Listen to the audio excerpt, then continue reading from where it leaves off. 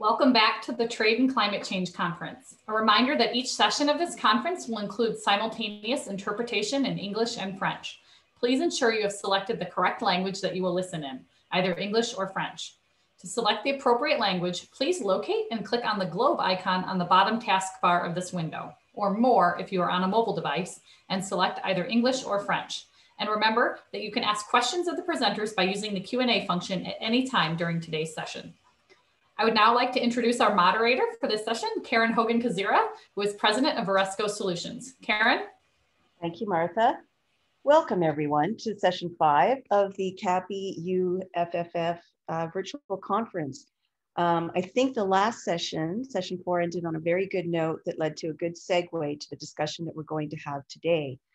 Um, and this is corporate ambition on climate action, uh, which is where I spend a lot of time with corporates working on uh, the, the ambition that they are scaling.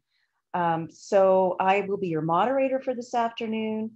And these particular companies that have come together have pledged ambition, are actively uh, finding ways to interact with growers in their supply chain and producers in their supply chain and are navigating this uh, complicated world of climate policy um, and you know the, the recent priorities announced by the US administration and the Trudeau and um, Biden summit that happened last month.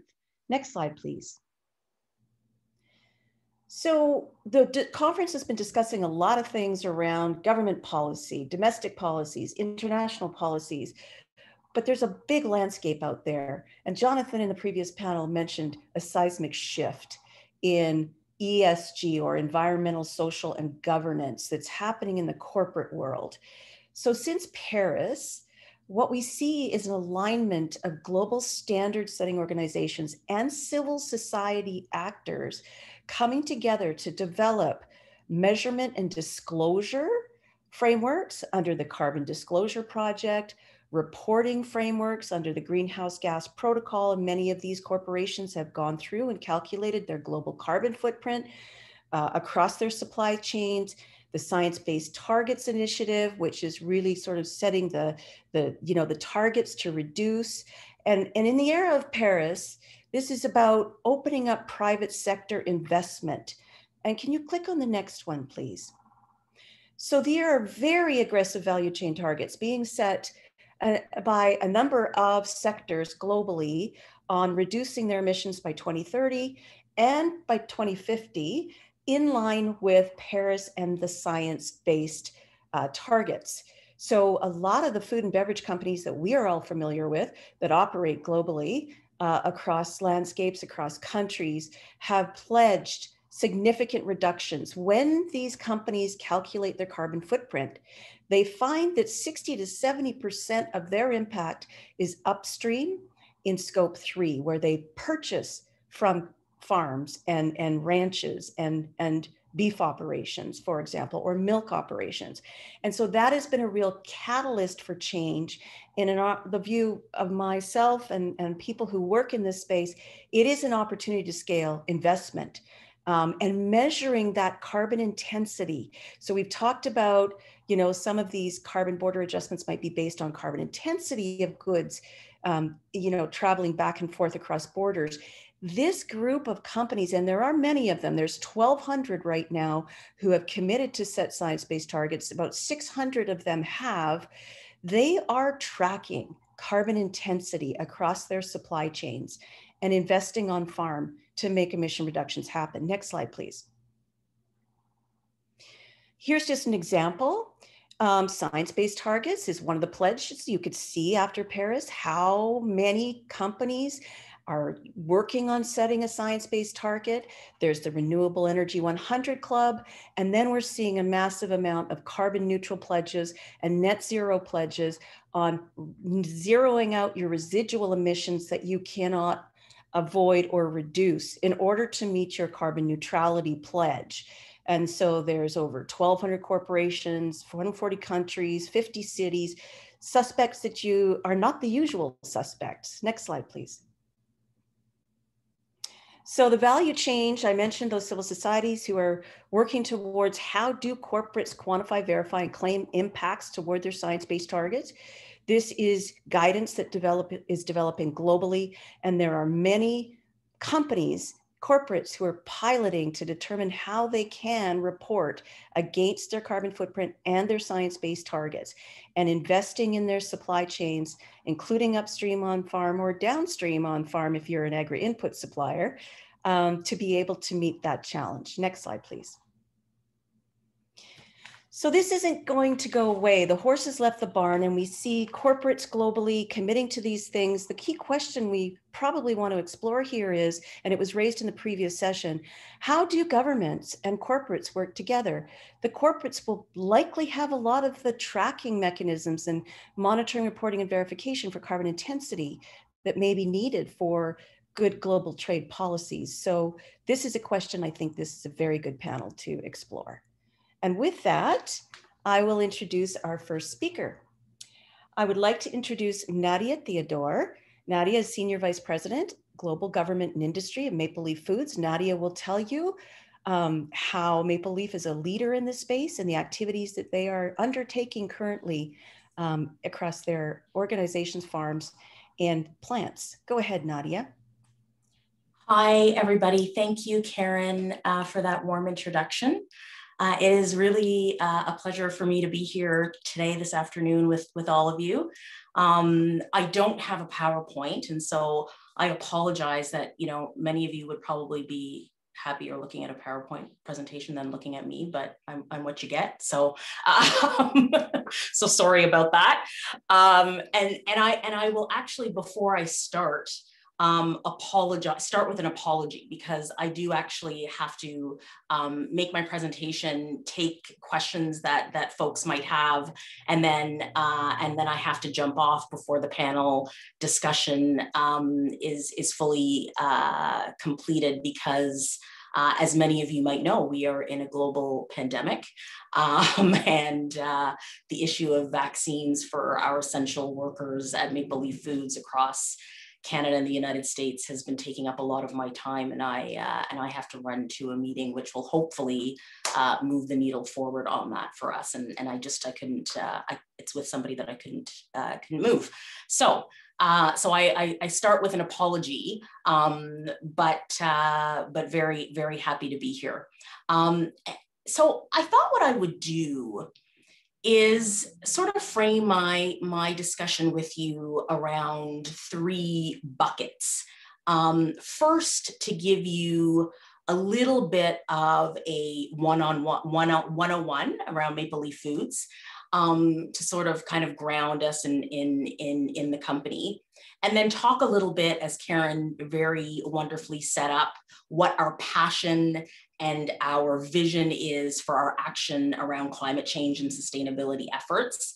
And then um, talk a little bit and hopefully start a little bit of a conversation around um, kind of the intersection that I'm most interested in, uh, not an expert in by any means, but definitely very interested in, which is around how this, this vision around climate change and this desire for action around climate change um, really matters to companies that are particularly dependent on export markets. So this whole idea of trade um, when we talk about climate change and sustainability efforts, particularly by, by companies.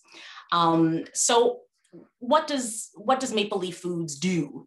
Um, and you know, I kind of I love to answer the question, who, what is Maple Leaf Foods? Um, because I think that for our company in particular, um, it can really be broken down in a similar way to kind of how people kind of define how we define ourselves as people, right? It's kind of what do we do, and then who are we? Um, and you'll see when I go through these two that the who are we is very closely linked to the conversation that we're going to have today and that we've been having, frankly, throughout um, throughout this wonderful um, conference uh, related to climate change issues. Um, so what does Maple Leaf Foods do? So we are a company that produces high quality prepared meats. We um, we um, produce value added fresh pork, chicken, turkey, and plant based protein. We have facilities that are located across Canada in Quebec, Saskatchewan, Manitoba, Alberta, and Ontario. I'm always afraid that I'm going to leave out a province inadvertently, so I always have to count on my fingers, uh, and, and across the United States. Um, this includes 12 prepared meats facilities, uh, two further processed poultry facilities, two fresh pork facilities, five um, fresh poultry facilities, and two plant-based protein facilities that many people don't, don't know about, um, and distribution centers, pig barns, uh, registered independent poultry growers, um, and a few hatcheries. And across Canada, this company that has been in existence for over 100 years has really been a staple on Canadian breakfast tables, in school lunches, and on warm summer night barbecues um, under, under the great Canadian sky. Uh, and we do business in over 20 markets. So I like to say to people that we are Canadian born, but globally made. Uh, and then there is the who we are. And this is obviously connected to what we do, but even more connected with what we want to be and where we want to go. Um, so many of you might know that we are Canada's largest meats and poultry producer, and we are actually the leading private label supplier for retail and food service as well. We are a team of over 13,000 employees that have a real commitment to connecting and reconnecting families with the goodness of food. And our company purpose statement says it all. Our company purpose statement is raise the good in food. Um, and you know, maybe I'll just take a minute before I connect it to uh, our company's position on climate change and talk to you a little bit about those initiatives. Uh, I'll talk to you about you know the four principles that our purpose is really anchored around because i think that as i go through them you're going to see that they are all in some way linked to our goals and our positioning and our thinking around building a better planet. So number one the principle of better food. So we endeavor to make real food with real ingredients, eliminating artificial colors, artificial flavors, and antibiotics. We believe in better care. We strive to build an industry leadership uh, in animal care through uh, research and advancements in training, transparency, and accountability. Uh, we strive for better communities. So we value a culture and a work environment that really keeps our people safe. We have a strong commitment to workplace health and safety um, and really have it at the forefront of everything that we do every day at work. And we're also committed to advancing sustainable food security. And many people don't know about our Maple Leaf Center for Action on Food Security. And then number four, we believe in a better planet. Um, we are pursuing very ambitious goals to reduce our environmental footprint by 50% by, by 2025. And so I wanted our little icon added to, uh, to the slide that was shown at the beginning of, of, of this session. Um, so, you know, what we, who we are is a company that makes protein products that is that a, a company who is purpose driven and that believes really in the possibility of shared value when it comes to the Canadian agri-food industry, and in particular as it relates to climate change. Um, and so you know, now I'll, I'll, I'll, kind of shift to give you a little bit of a position of, of um, a position on climate change. So our, our company's position on climate change and sustainability, and then talk a little bit about the trade implications.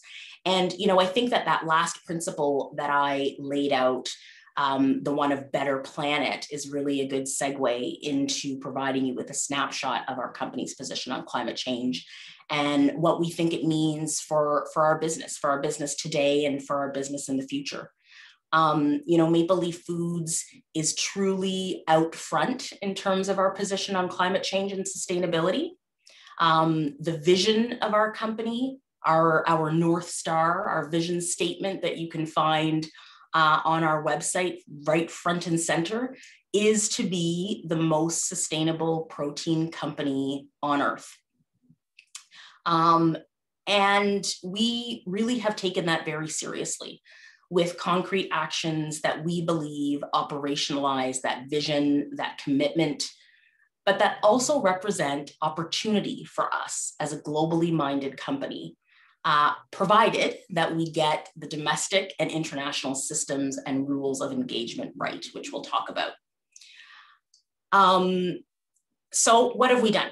Uh, I'm going to walk you through um, maybe two initiatives uh, in, in the interest of time that I believe really have, well, two sort of buckets of initiatives, I should say, that I believe have the potential to have the most impact um, and where I think trade and trade related issues uh, and the ever increasing discussion on the space and place of trade and sustainability and climate change action efforts are going. Uh, and before I, I, start, I really do have to say and underscore that I am not a sustainability expert. Uh, I'm not a climate change expert. My, um, my expertise is actually in, in, trade policy and expertise, I use that word loosely.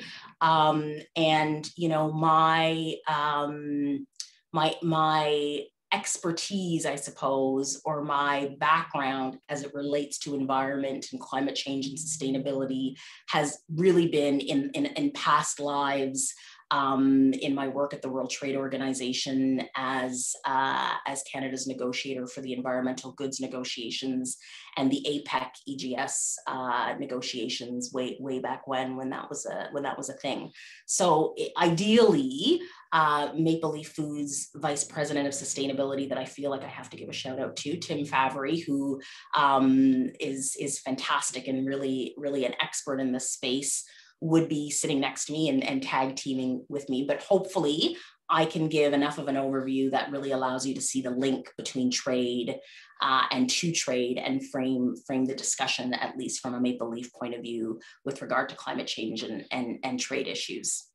Um, so I'll start maybe by what we see at Maple Leaf Foods to be perhaps our single proudest moment as a company in our sustainability journey. In 2019, we proudly announced that we became the world's first major carbon neutral food company. And along with that, we became only one, we became one of only three animal protein companies globally to set science-based targets, which was talked about during the introduction. You saw the, the logo there, um, aligned with the goals of the Paris Agreement on climate change and the only food company in Canada to set science-based targets. So we really feel like this is one of our proudest moments as, as a Canadian company, as a Canadian food company, to be the only major food company in the country to set those science-based targets. Um, so what does that actually kind of mean? What does carbon neutrality and carbon management look like for us?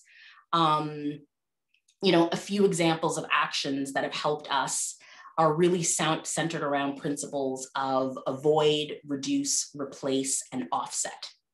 So we have avoided building new processing plants in areas that have little or no access to renewable energy sources. We continue to improve our efficiency in our plants, um, in our animal feed and crop production, and reduce distribution trip lengths for our products. We switch from carbon intensive to low carbon sources, for example, by investing in renewable energy and electricity through new power purchase agreements. And for emissions that we cannot otherwise reduce, we are looking to offset those.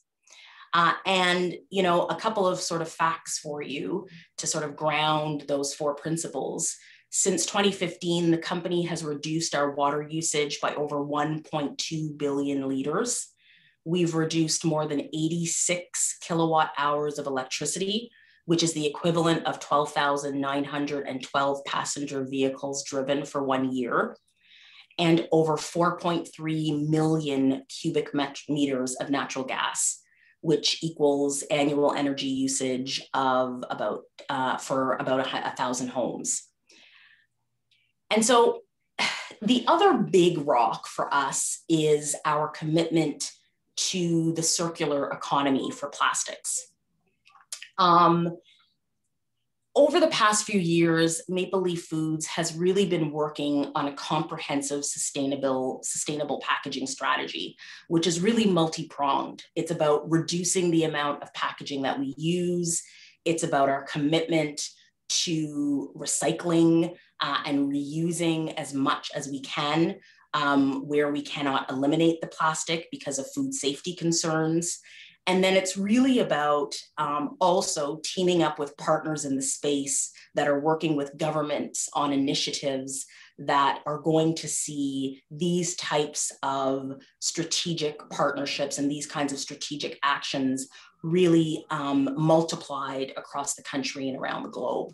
So the goal of the strategy is really, again, to reduce the overall amount of packaging materials that we use where possible, to source materials with high recycled content, and shift to fully recycled material materials where when we can over time. And you know, another proud moment, recent moment for us um, along that journey is that in January of this year, we joined the Plastics Pact, which is many of you might might have heard of it. Um, it's a network of local and cross-border initiatives that bring together key stakeholders to implement solutions towards a circular economy for plastics. Um, and what's kind of cool about this initiative and the pact is that the goal is really um, to, to, to unite business and government and everyday citizens behind this common goal. And so each initiative that each local um, network or regional network undertakes is really led by an organization that is looking to unite the three groups the government, the business, and then citizens behind this common vision to respond to plastic waste and pollution. Um, and then the last initiative that I will uh, kind of just touch on briefly um, in, in this bucket of circular economy is an initiative that we undertook a few years ago um, as a company. And it's a partnership with an organization called How to Recycle. So it's a standardized labeling system that provides instructions to consumers for proper recycling. And so over the past few years, we have been exploring collaborative opportunities with how to recycle and that program so that we can help to amplify voices uh, of business that are really looking to inform consumers and customers around, um, around the importance of recycling. Um, so I picked those examples for a reason. Um, and many of you might have kind of guessed the reason as I was going through the examples, uh, because you know the the idea of supporting ways towards carbon management and carbon neutrality um, and a variety of initiatives around labeling so, this carbon management, carbon neutrality, and labeling um, are really two issues that are going to be part of and are already part of the discussions around how the trading system will matter for businesses who have a global footprint. Uh, and in particular, over the past few years, uh, there have been increasing conversations around rules and regulations related to environmental sustainable sustainability labeling and certainly lots of conversations around carbon border adjustment taxes um, and and and and the like. And so you know what is maple leaf's position on these these issues these trade related issues um, tied to climate action, sustainability, um, environmental action. you know, I can't pretend that Maple Leaf Foods has policy positions that are all kind of neatly gamed out and tied up in a bow as it relates to carbon border adjustment taxes um, or putting a price on carbon or a carbon tax, whatever, whatever you'd like to call it. Um, because the fact of the matter is that I think, you know, like all trade issues, frankly, uh, and in particular those related to agri-food and agriculture, it, it's complicated. Uh, and certainly for a company like Maple Leaf Foods, who truly, um, as I said at the beginning, truly is a values driven company or strives to be a values driven company that really has um, you know an ulterior motive um, which is to help try to save our planet uh, and to do our part as a company to make sure that um, that our planet is left in better stead for those that will come after us. Um, it's complicated right? When you when you combine that with business and and investor relations and and and, and all the rest. Um, so so I thought what I would do is kind of outline a few principles that I think that all of us, Maple Leaf Foods, other companies, governments, and I would say, you know, even investors and citizens have to keep in mind when we are thinking about ambitions around climate change and sustainability, especially for companies or for countries that have companies that are that are based in their jurisdictions that depend both on domestic and global markets. Um, and yes, sorry to interrupt you. Um, we don't have any questions coming into the Q and A. So I'm encouraging people to put your questions in the Q&A because Nadia is going to have to leave and we'll only have a few minutes for questions for Nadia. So if I don't see any questions coming in the Q&A, please continue because I really want to hear your principles. Okay. All right, I'll, I'll, I'll be quick and then to, to make have time for a question. Sorry, I timed myself, but you know, I tend to ramble. Uh, So, so three, three, I'll, I'll say three quick things, okay, around the principles, the trade related principles. Number one, rules based. Um, so Maple Leaf Foods really believes in a rules based system. We believe that climate change is a global issue um, and that to tackle this global urgent issue, we really do need countries um, to work together. Um, and so we believe that a rules based international system that really takes into account and has conversations around climate change is important. And that to the extent that issues are like carbon border um, adjustment taxes that are going to be used for, for for exports, right? For exports, imports, not within within a country. Um, we really do need to have conversations amongst our countries in order to get that right, which of course is complicated. Uh, predictability. Nobody around this table um, is, is naive to the fact that for companies, for business, the number one thing for success. The number one thing that drives success is predictability predictability of the rules predictability of the action predictability around what government expects of us what government is going to do to support us. That whole conversation around being able to understand and to, to, to invest in um, initiatives that we know are going to be meaningful for our success 10, 15, 20 years down the road because we are all aligning on it for the future is very important. Um, and then the third thing that I'd say is science based.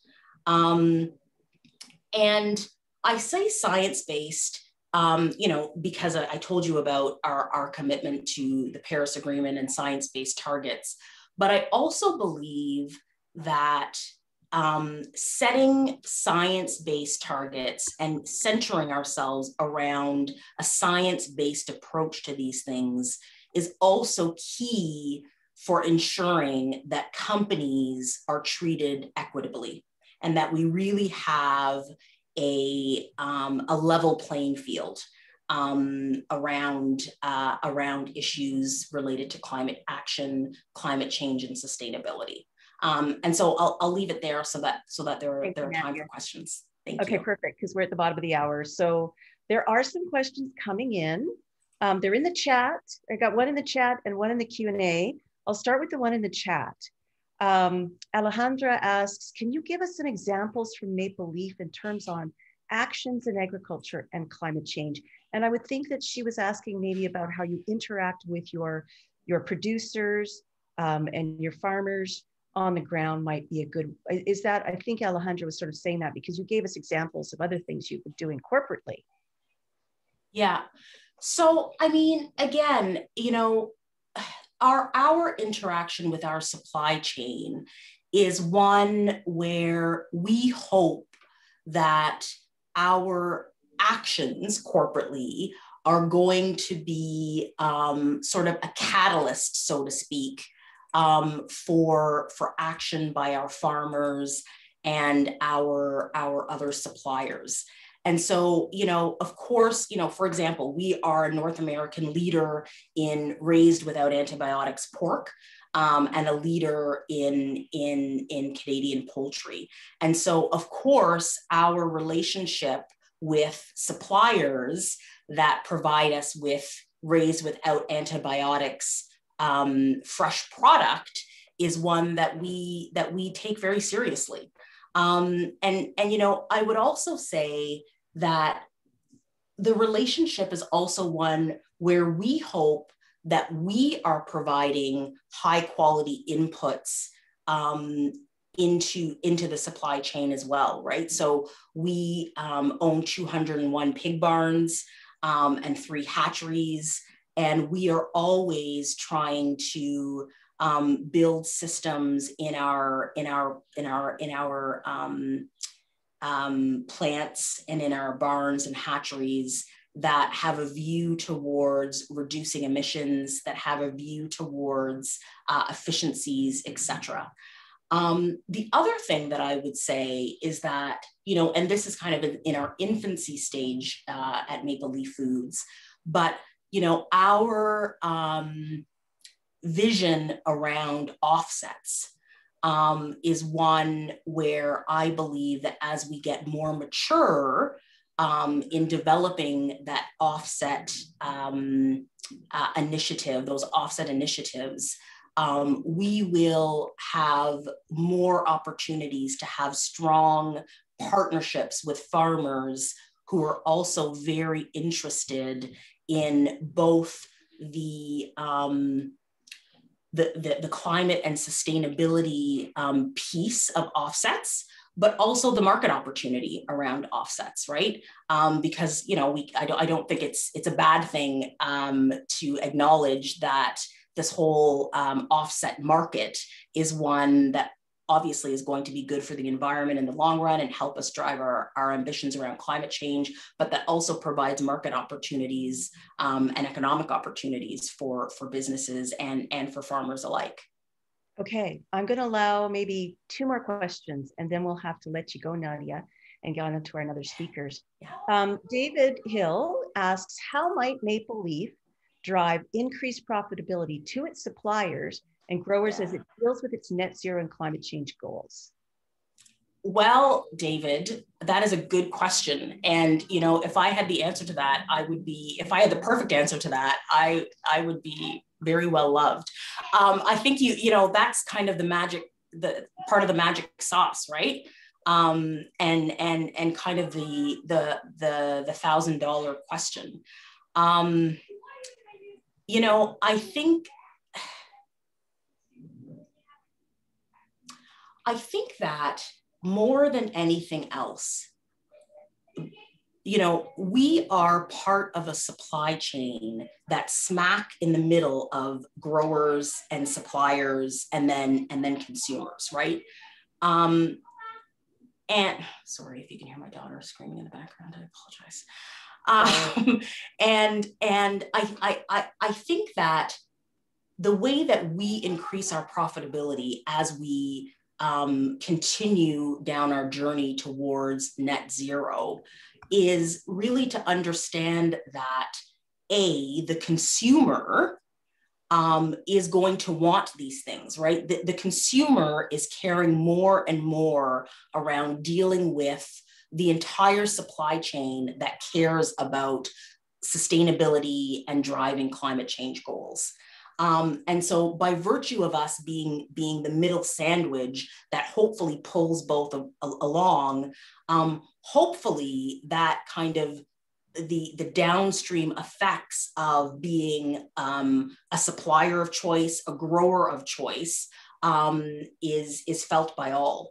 Uh, and then the other thing that I would say that's perhaps more tangible is that, you know, when we are, the, the, the actions that we take to reduce our emissions, to be more efficient, um, at the end of the day, it's cost saving right? It it it it it, it drives cost saving for for our companies.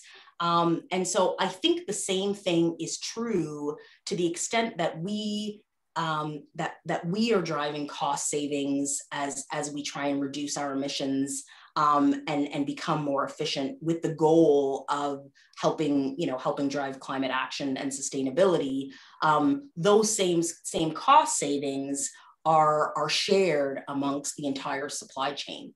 Um, you know, not not an easy not an easy answer, frankly, and not again, you know, that's kind of the magic the magic question, the million dollar question.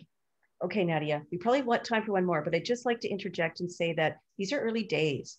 Um, it takes a company about two years to do its footprint and get its, you know, under, identify where it wants to work and then set that target. And those targets are not SMART goals. Those are transformational goals, transformational in the way corporates do business.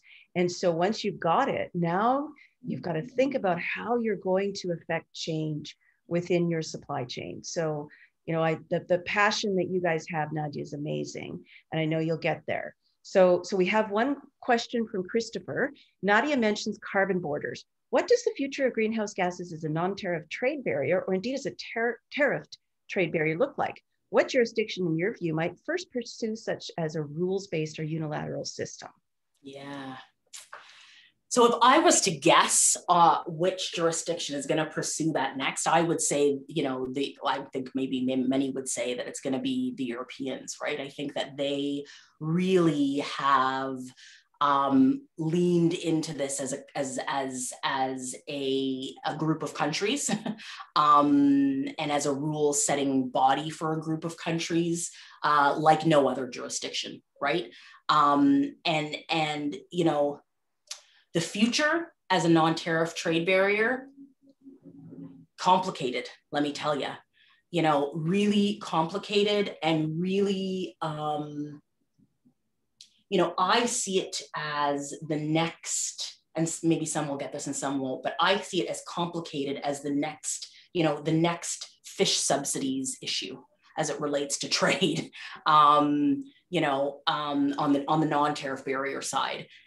Um, because I because I really believe it's going to come down to this idea of countries really taking a stand on the fact that this is um, climate change is something that we have to tackle that is really and truly one of those issues that falls within um, you know the protected areas that countries are allowed to regulate around kind of um, relatively indiscriminately again uh, on right? I think that there will be arguments to that very soon.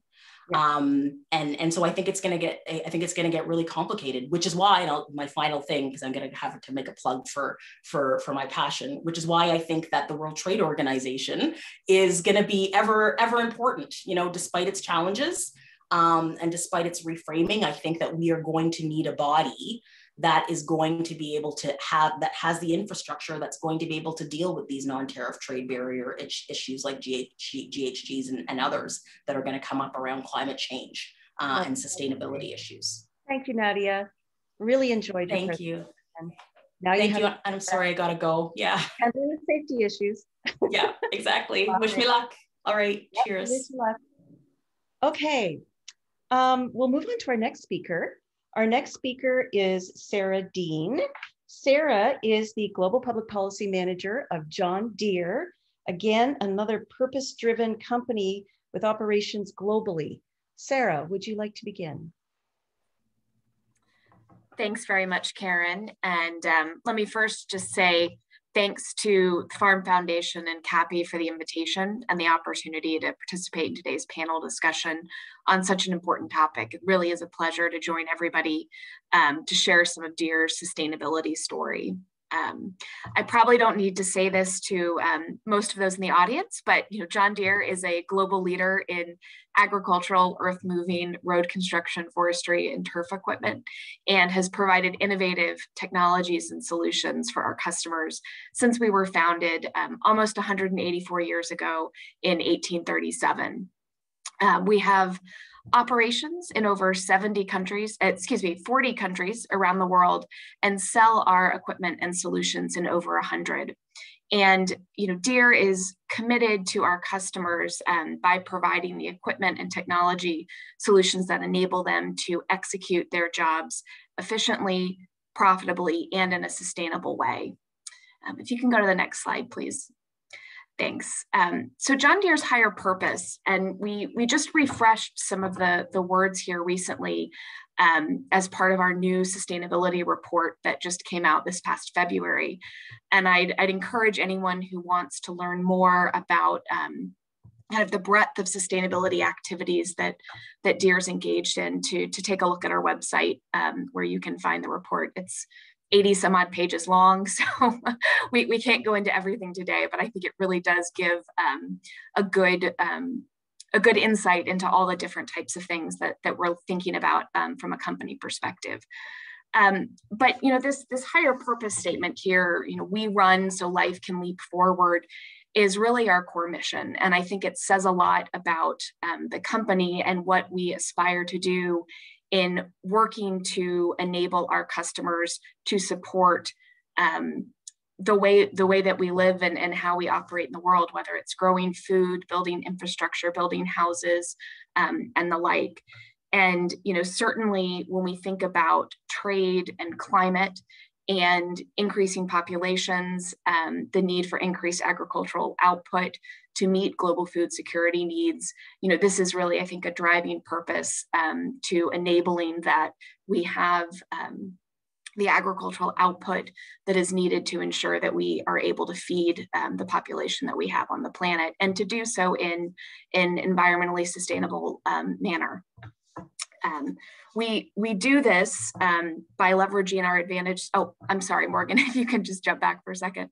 Um, you know, we, we do this by um, focusing on our manufacturing and our engineering and our technology um, and by focusing on our customers and the relationships we have with them to understand um, how it is that they operate and what are the steps that they take across their different um, tasks and jobs that they do so that we can tailor the right solutions um, for those customers, be they smallholder farmers in parts of the developing world to large commercial um, operations in other markets. And so therefore we can provide the right solutions and um, equipment for any operation of any size um, that there is.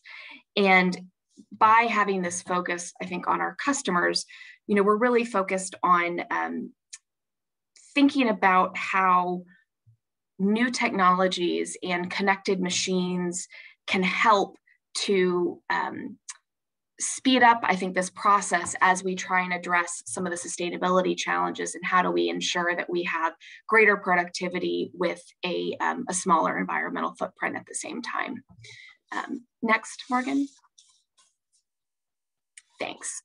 And so, um, you know, in 2020, we went through a um, kind of a strategic review and came up with a new strategic operating model that we've rolled out um, that has three essential building blocks. And this sort of has everything in the company now is now focused around these areas of our production systems, our technology stack, and our lifecycle solutions.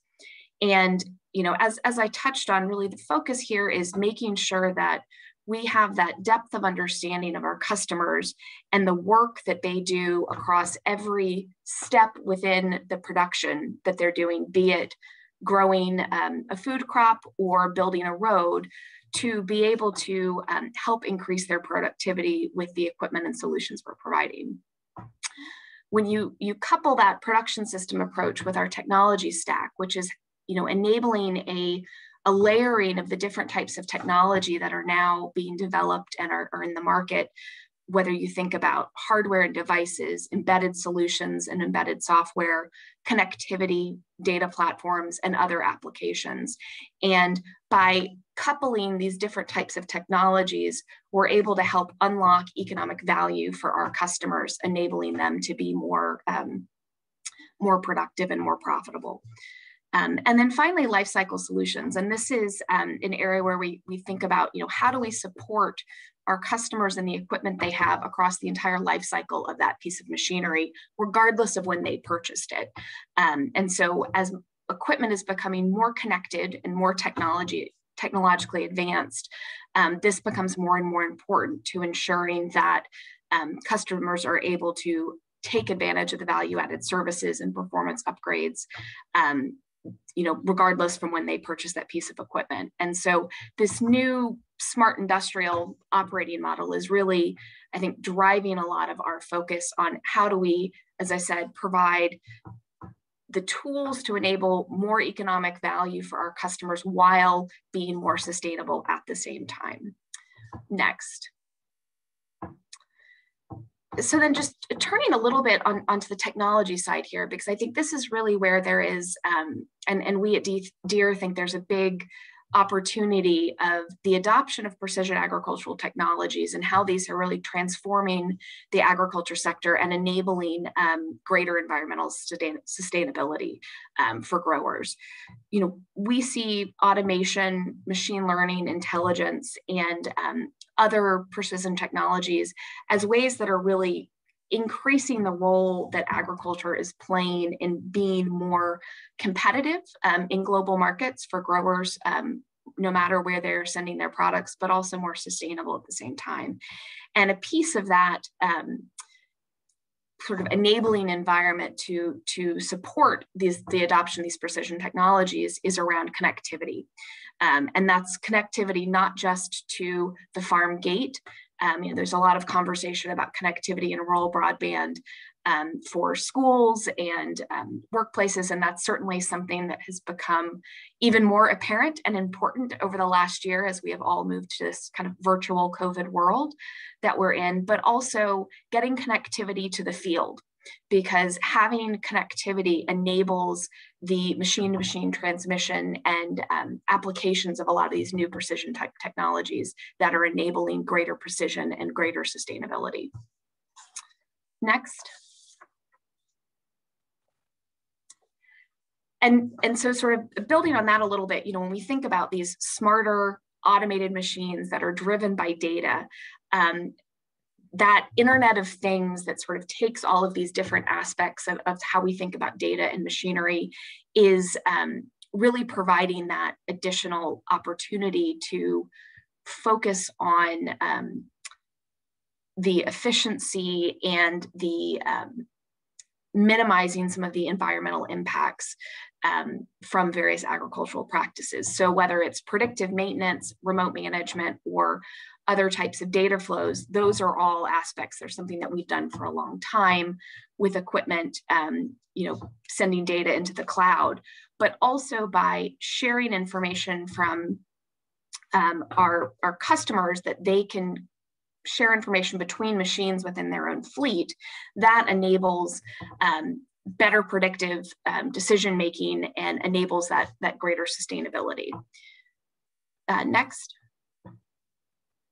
And so here you see a little bit this this slide is a little um, it's got some some actions built in there but but i think the, the, the main piece here again is that you know by having the connectivity and building upon a lot of these precision technologies we're enabling growers to be more efficient more profitable and more sustainable at the same time because of a lot of these um, these new technologies. And one example i think i would i'd, I'd share is um, you know, if you think about high definition cameras or um, advanced sensing development and uh, intelligent learning algorithms on machines. You know, there's a lot of focus around um, automated cars and um, self-driving cars. Well, that that's been happening in the agriculture space for um, for a very long time. Um, and you know where we're where we're learning a lot and I think providing a lot of value is um, within these different sensing te technologies. So in, in 2017, um, John Deere purchased Blue River Technologies, which is um, a company that had an expertise in camera vision and machine learning um, and used facial recognition to just differentiate between a plant and a weed. And so these types of technologies, as they're now coming into the commercial market today, enables um, growers to spray precisely the weed rather than having more broad acre spraying or spraying plants, which has a dramatically um, reduced uh, use of um, pesticides or other types of chemical ap applications, which certainly reduces some of the environmental um, footprint of a particular operation well. And so we see as these technologies continue to be developed and continue to be adopted by growers, that they're only going to increase the ability um, of understanding the environmental um, footprints in some of these operations. And I think the technologies that connect to um, when we think about some of the new um, carbon offset systems and other types of protocols and the verification that's going to be required, you know, the, the machinery that is following a lot of the applications that growers are doing are, is going to be a key for enabling them to take advantage of some of these opportunities that are opening into the market as well. And thus having a kind of a broader um, understanding of their operations and, and more, um, more efficient, more productive um, operations, but also with a, a lower environmental footprint. Um, next slide, Morgan. And then just to sort of touch a little bit um, kind of more on this about what what does this mean? You know so we think about all these technologies that that we have in the market and um, you know how they are producing sustainable outcomes for our customers um, while you know kind of reducing environmental impacts on soil on water on air quality. And eh, you know a lot of these technologies are some of them are things that have been um, in the market for for two decades you know things like gps guidance and AutoTrac that's that's not a really new technology but other other types of sensing technologies are, are much newer. And so when you combine all of these together you can really have um, a, a, huge amount of um, opportunity to understand the farming operations better. And if you go to the next slide um, morgan and this is the last one and this just gives kind of a high level snapshot and um, we can talk a little bit more about this in, in the Q&A if, if people are interested in um, more of the detail behind um, some of this analysis as part of our uh, recent sustainability report, we did um, some model analysis based off of a model farm.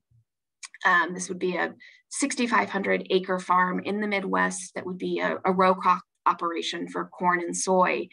And by looking and, and using six different um, precision technologies that are currently available from John Deere. Um, you know, if you're thinking about GPS guidance, section control, um, and, and other types of applications across the whole year of a production cycle. So from the preparation phases that a farmer goes through to the planting to the protection phases to harvesting and throughout the management of all of this. Um, by using these different technologies, um, we found that, again, for this model operation, you could add $40 per acre of economic value um, to the grower by reduced fuel, reduced fertilizer, um, reduced use of seeds because of better management of where things are getting um, planted, um, as well as emissions avoidance because of um, you know fewer passes of the machines that's required.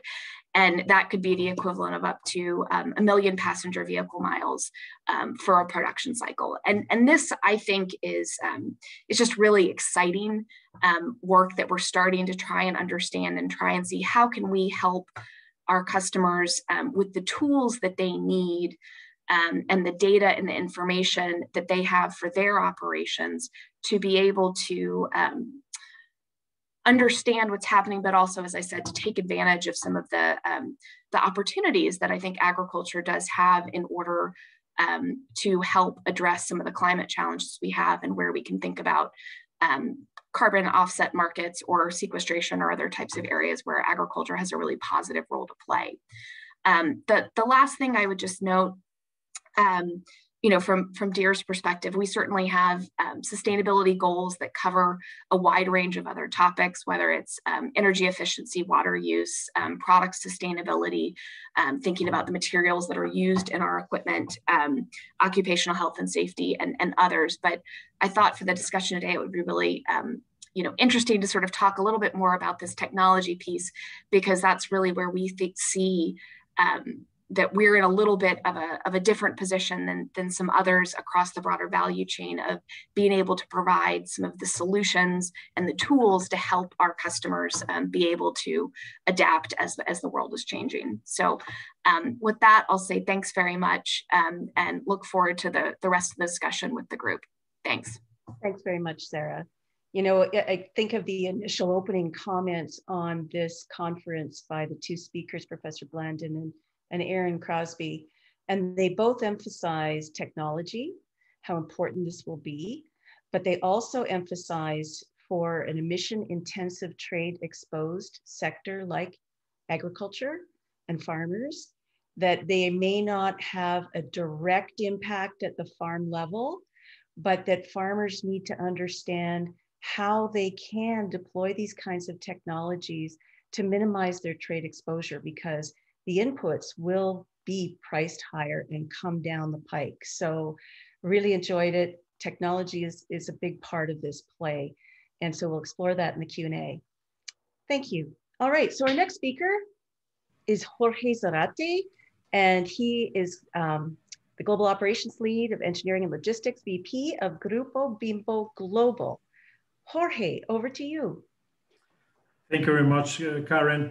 And uh, thanks to Farm Foundation and CAPI for having me here and as well representing my, my company, Grupo Bimbo, and, and allow me to, to spend some, some time just to give you a background of who we are and how we are connected with the sustainability. Uh, our company is a 75 years old company. The picture you see here is the, the, the original founders. And actually the company is still in, in, in managing uh, managed by the, by the same families. Uh, the only one alive is the first one, Don Roberto. The second of uh, uh the former CEO of the company, the second one.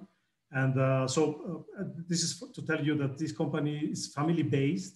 nowadays it's global, it's, it's international, but with very strong foundations on, on a family based company. We are a, a public company, but with a very small floating rate, around 20%, 80% is still on, on, on, hands of these, these families. Can I have the next one, please? So uh, today, after 75 years of uh, effort and, and growth, uh, Grupo Bimbo is now the, the leader, the global leader in the baking industry. For, for those of you you haven't heard, you're gonna see our brands, then probably you're gonna recognize us. Uh, so nowadays we have operations in 33 countries uh, through 203 uh, uh, manufacturing sites. Uh, that could be bakeries, could be confectionaries, could be snack manufacturers.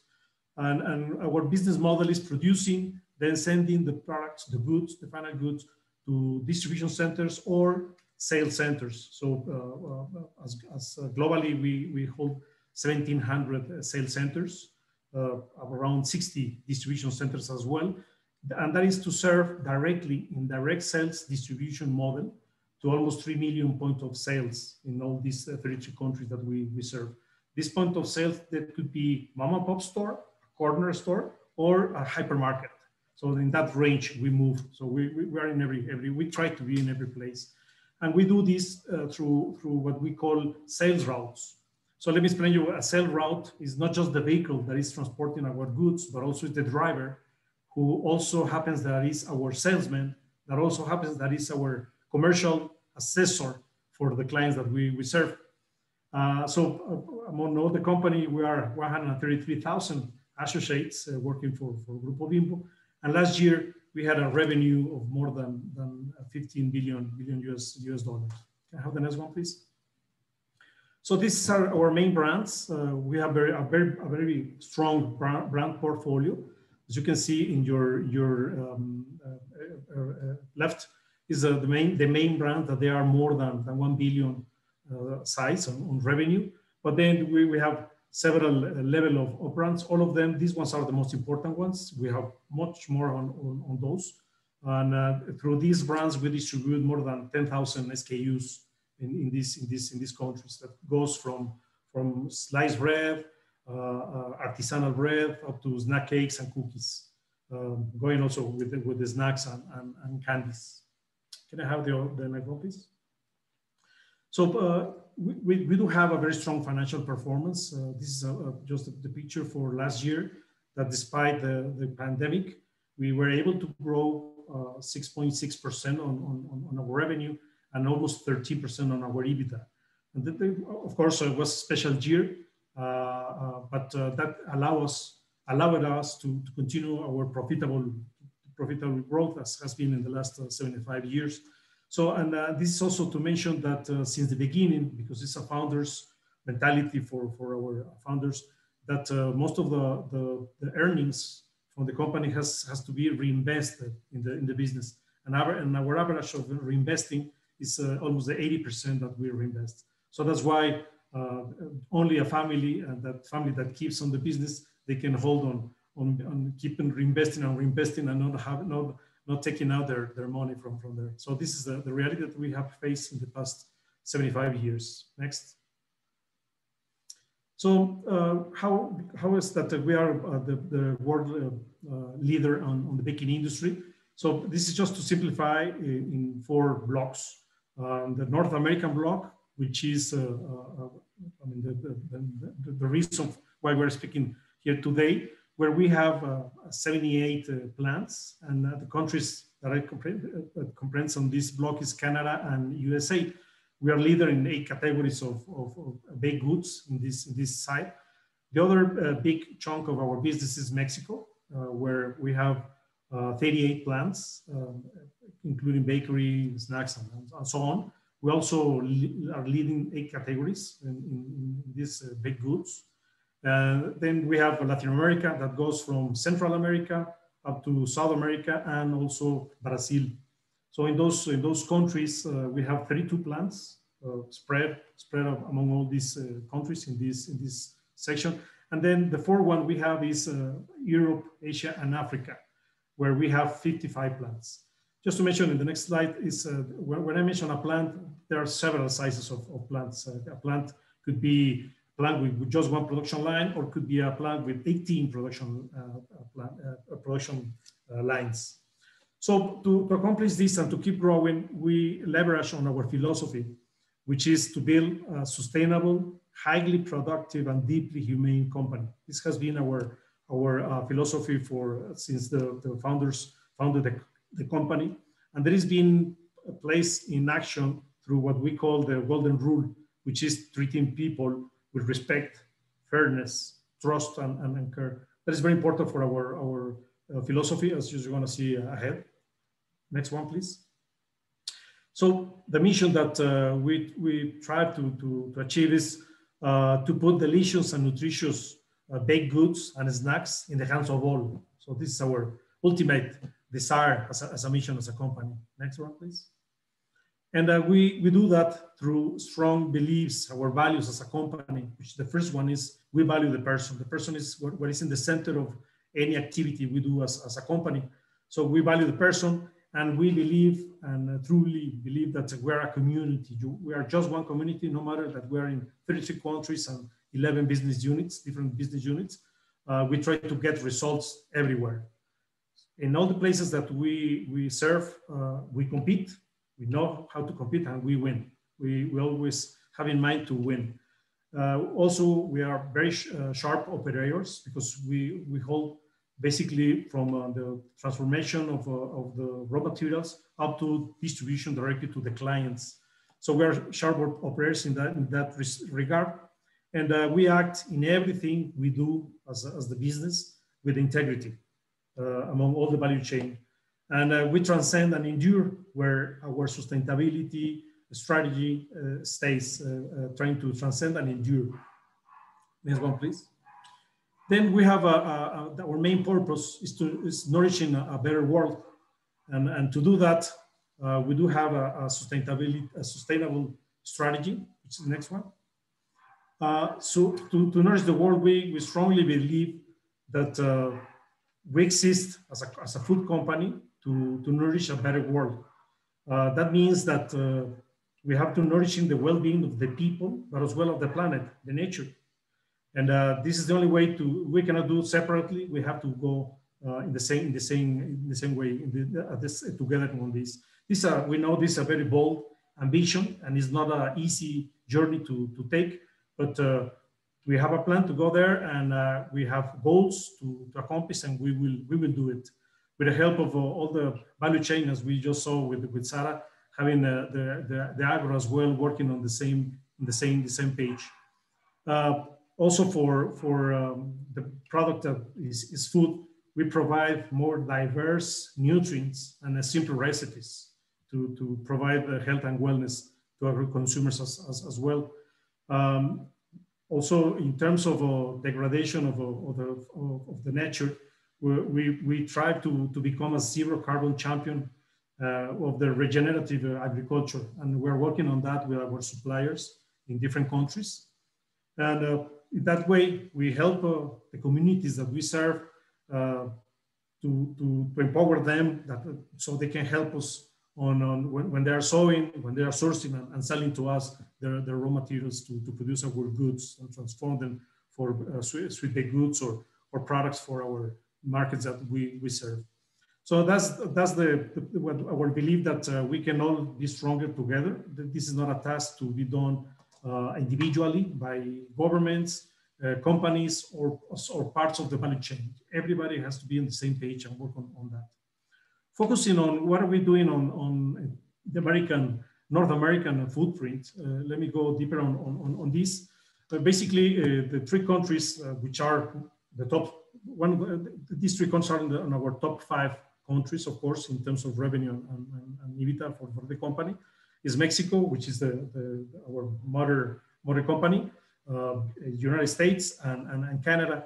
And in that, uh, what I can tell you is uh, together uh, we have 116 bakeries, 42,000 routes that I already explained to you, to serve almost 2 million uh, point of sales among all these all these uh, three countries. And uh, for that, out of our, our 133,000 associates, 100,000 are in these countries because, they're one of the largest uh, part of the business that, that we have. And uh, talking about plants, some plants are, are small, some plants are big, but I can tell you that uh, in these three countries, we have 450 uh, production lines out of 900 that we have as, as, as Grupo Bimbo. So you can, you can see how important for us is, is North America uh, for, for our future and for our, our growth. Uh, the next one, please.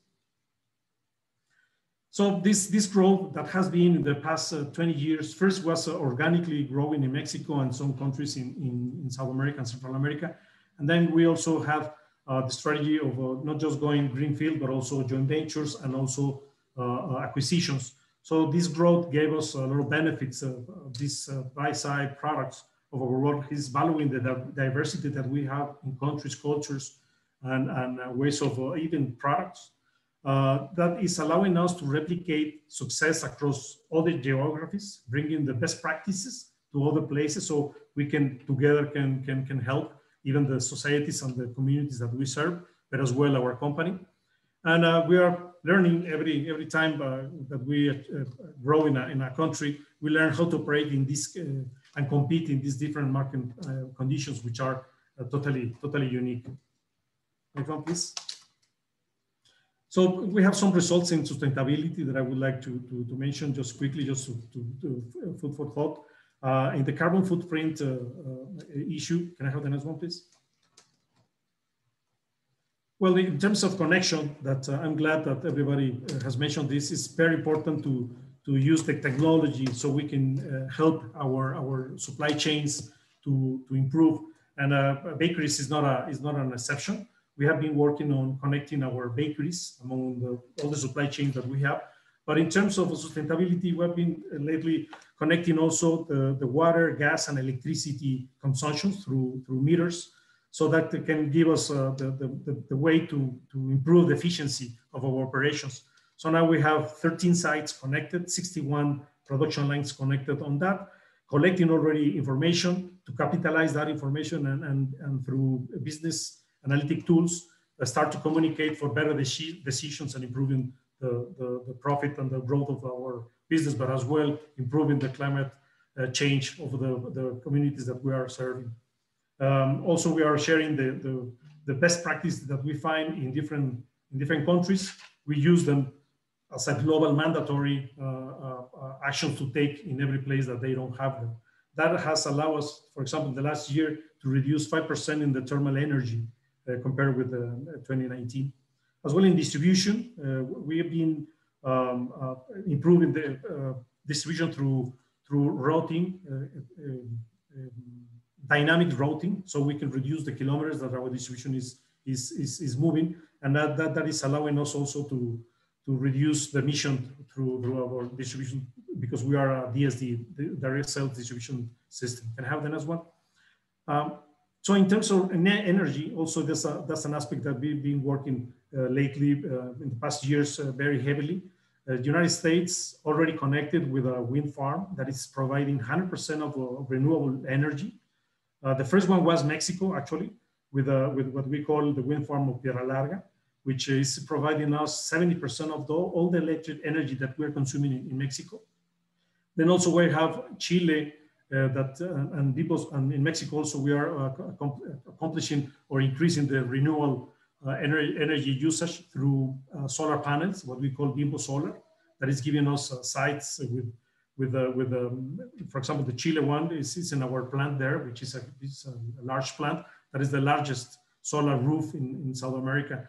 And in Mexico, you're going to see we have a distribution center that is also uh, very big. That is uh, that, that, has the solar panels that is the, the largest in, in, in, Mexico. In Peru, we already started uh, using uh, hydroelectric energy, and the rest, 80% now is uh, being providing the energy for, for our company, but the rest is going to be uh, accomplished with uh, solar panels as well. Next one, which is another examples. This is what I was uh, mentioning when Argentina already with wind farms, 100% renewable. In Mexico, this distribution center that is also solar panels in the roof that is uh, giving, providing the 100% of, of, this automatic warehouse. And also we are uh, uh, testing and trying and, and rolling out the power banks technology in, in some sites so we can accomplish by 2025 being 100% renewable. So we also uh, we committed with the RE100 initiative. Next one, please. And in terms of uh, new technologies, as uh, uh, we have been commenting, because the fleet distribution is a big issue for us, we also been alternating technologies to, to reduce our carbon impact.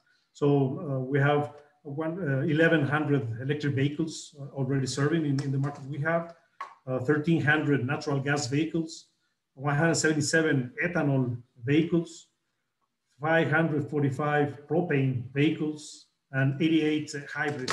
And this is uh, just the beginning. We have still a long way to, to, to go. But today in Mexico, for example, we are the largest electric fleet in, in, in Mexico, in the country. And uh, this is something that uh, commit us to, to continue working on, on, on this. In refrigerants, also we have the commitment to, to gradually reduce the impact uh, by, by using uh, uh, more environmental uh, uh, friendly refrigerants. And we hold the first hybrid ammonia and CO2 system for a, for a fabricated, which is in Chicago, which is a frozen model. And well, this is also a long way to, to, to go, but we, we aim to, to finish on the transition 2025 to 2020 to 2030. And uh, so altogether, what we uh, try to, to get is with our purpose of nourishing a better world, using our mission, uh, which, which, is uh, uh placing delicious and nutrition, nutrition baked goods and snacks in the hands of all to build a sustainable and highly productive and deeply humane company. Uh, this is uh, something hard to, to 100% fulfill, but always uh, trying to, to, to, to get closer and closer every, every time we can. I think that is the last one. Great. Thank you, Jorge. Very good. Um, so we're going to ask people to type in questions in the Q&A and we'll be addressing them as best we can. We have about 14 minutes left for questions.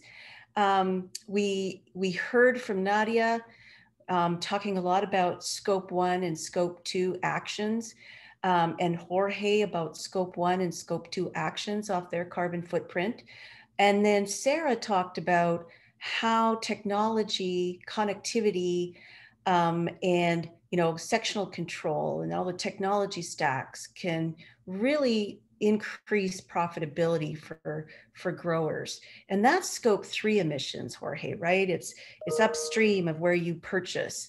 So uh, you know it, it's an interesting conversation and i have my own questions but i think i will turn to the questions on the on the panel here. Um, first one comes from don mccabe. Does john deere want or expect to have a role of ownership over carbon credits generated by the farming use of their technology. In other words, who owns the data, Sarah? That's a biggie. See if I can unmute myself here. um, yeah, it, you know, it's it's a good question, and I think the, you know, as um, as carbon markets are developed further, and you know, I think we've seen a lot of um, a lot in this space, particularly in, in, in, recent years, as we've started to see more, more carbon pricing in certain markets. And as um, Nadia talked about, you know, we think about carbon border adjustment mechanisms and other types of, of measures that may be used. I think the, the question is, you know, how are those markets developed and how are their offsets?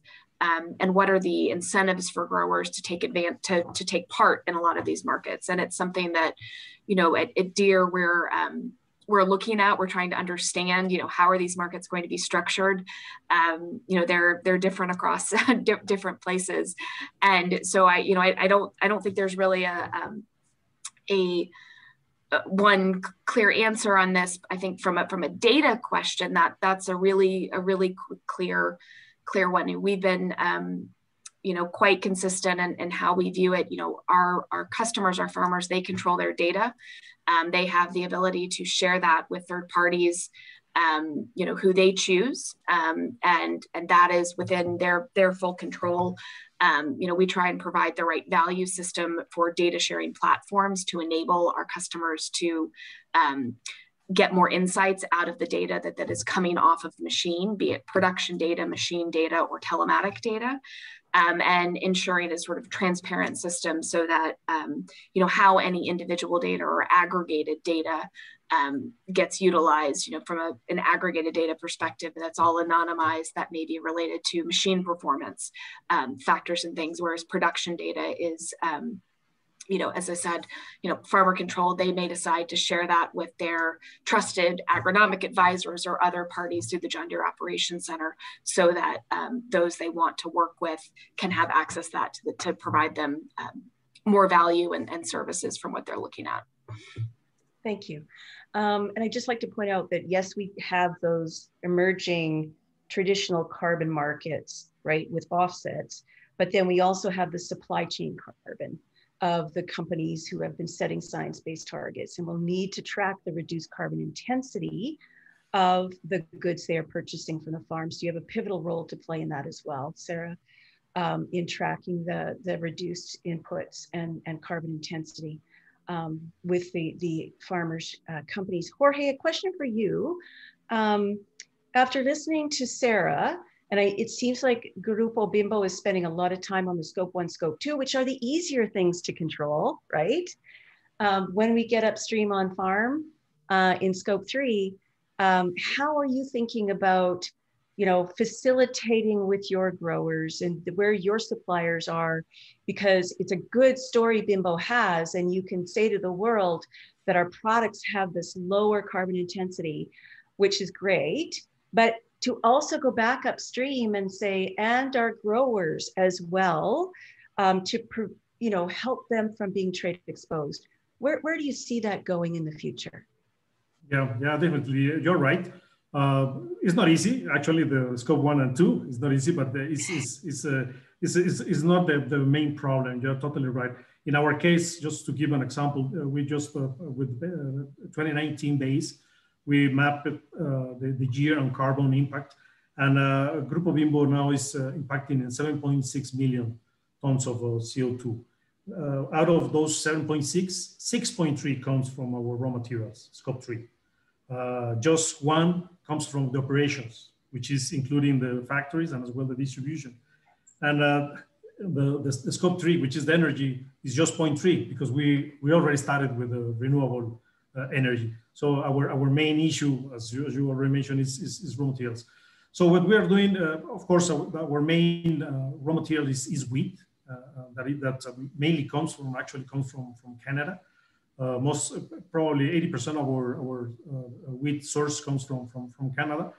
Uh, but if you take into account all the hectares that we, we are impacting is around 800,000 hectares that we are impacting on, on wheat agriculture. So what we're doing now in, in, in Mexico and trying to, to roll it out we work together with, with uh, an international center for wheat and corn improvement. Probably you have heard about them, is uh, CIMMYT. Yep. So we work with them, and uh, lately also uh, Cargill has uh, joined us in helping us, us in, in developing uh, strategies for the Mexican uh, growers to find different ways to, to, roll it out in other countries.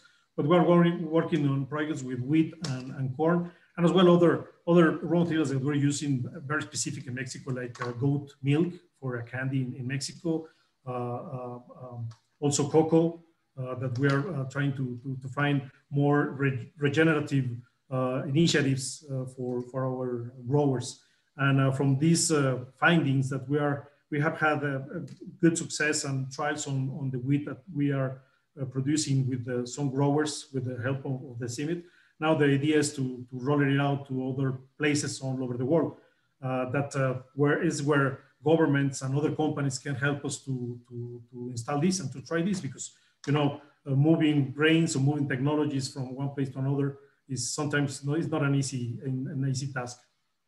Yes, thank you, Jorge. Um, we go to our next question from Kel Schlendra. How automation and precision technologies monitor soil carbon levels and possibly buildup of soil carbon. I think, Sarah, I might throw that one to you. Sure, and, and I think this is an area where there's still um, still work to be done um, in, in that space. I mean, there's a lot of different precision technologies or other um, other tools such as soil moisture monitoring, which can be um, probes, you know, put in fields in different places to, to monitor the, the moisture levels, given that they vary um, across the field. It's it's not always going to be the same. I think that's one thing to keep in mind. Um, you know, with with a field is that the whether it's um, the soil health or the moisture or all other sort of aspects could be very different um, across different different parts of the farm and that's that's why a lot of these precision technologies are so important and so that the grower can get a real picture of what the whole field looks like not at an aggregated level but really as i said getting down to the plant level of what's needed. Um, so, you know, from, from soil moisture, um, compaction is another area of something that, that can get uh, monitored and certainly with um, reducing um, the number of passes that are taken over a field by using um, GPS guidance and AutoTrac um, tools. Those are things that, that help support soil health. But you know, I think these, this is an area where there's a lot of a lot of work still to be done about how do you integrate other soil health measurements that say an agronomist might be doing within um, some of the equipment and other tools that a farmer might be using. Um, but it's a, it's a great question, and I, I, suspect there'll be a lot of a lot of work in that that area moving forward. Definitely, definitely, and uh, R and D development too. I mean, our initial panelists said not only technology, Jorge, but R and D and development as well is one of those ways to mitigate the trade exposure of of ranchers and farmers. So Good job. Um, I'm, I'm only have four minutes left, and I want to hear your thoughts on how can governments who are tackling these policies domestically, internationally, and all of the, the efforts and initiatives that we've heard in the panel before us, how can government partner with private sector and corporates and industry to you know, if it's about a carbon intensity calculation of a, a good produced in the US or Canada or Mexico, um, and, and being able to verify that carbon intensity, because you guys will be working on the ground with these, you know, eventually getting into your scope threes, and then you provide solutions, Sarah, to scope three. And, and both of you indicated that there should be a seat at the table for industry. How, how do you see it? Maybe Sarah, I'll ask you first um, in terms of government and industry working together? Yeah, it's a good question, Karen. I mean, I think, um, you know, somewhat Nadia touched on some of these this sort of same things. I think it's you know transparency and predictability is really important, and I think having a seat at the table is really critical, and making sure that there is um, a, a two-way dialogue. I think that's one of the reasons it's so important that we have the broader agriculture sector engaged in these conversations around climate and what are the, the challenges that the world faces and as we think about food security um, around the world and, and how do we um, how do we meet the needs that we have? How do we also ensure that um, growers perspectives and, and farmers perspectives are also raised in the discussions with government so that there's a, a real understanding of all the different um, things that need to be considered in terms of, you know, whether it's um, voluntary measures, um, incentive-based programs that, uh, you know, help drive adoption of a lot of these different tools and technologies that we're talking about, um, as opposed to a more um, uh, regressive sort of system through regulation or, or something else. Thank you. Jorge, you get the last word. Yeah, thank you. Thank you very much. Well, I think it's, it's, it's, it is a, it's the most uh, I think uh, uh, companies, we have to take our role and obligation of, of working together with the governments. as you know, there's different countries, they have different level of maturity and, and development on their policies. So uh, we are forced as, as, as, companies, or we are we have the obligation of, of participating with the governments on, on ruling, on defining objectives, defining uh, uh, policies that can help on the impact of on the environment. Uh, what I would say is uh, companies uh, and, and, governments together, they should be investing on, on, on, training to, to, the, to, the, to, the, to the agro, but as well investing in technology, as, as not just in the biotechnology, but also in terms of digitalization, of, of, of automation of the corps and, and all the work that uh, is in the, in the agro sector.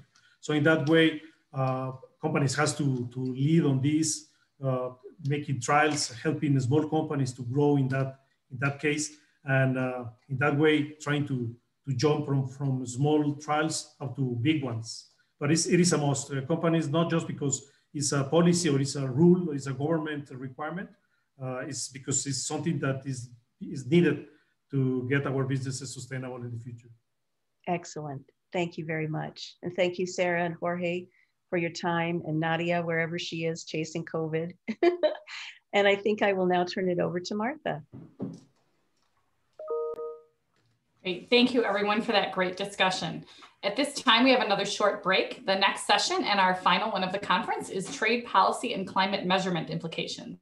Uh, that starts promptly at 2.45 p.m. Central Time, so make sure you return to the Event Hub and join that session using the blue View Session button. Thank you.